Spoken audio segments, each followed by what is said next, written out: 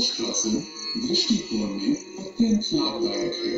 यह पीठ एवं गर्दन के दर्द से आराम दिलाता है यह उदर एवं नितंब की वसा को कम करने में सहायक है उच्च रक्तचाप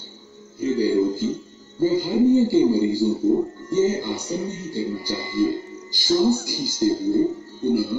वज्रासन में बैठ जाएँ।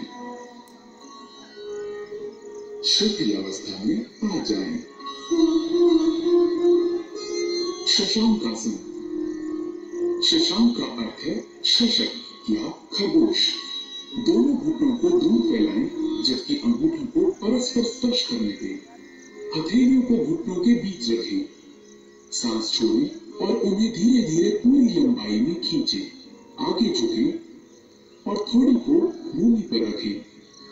भुजाओं को समांतर रखें सामने देखें और मुद्रा को बनाए रखें। यह तनाव और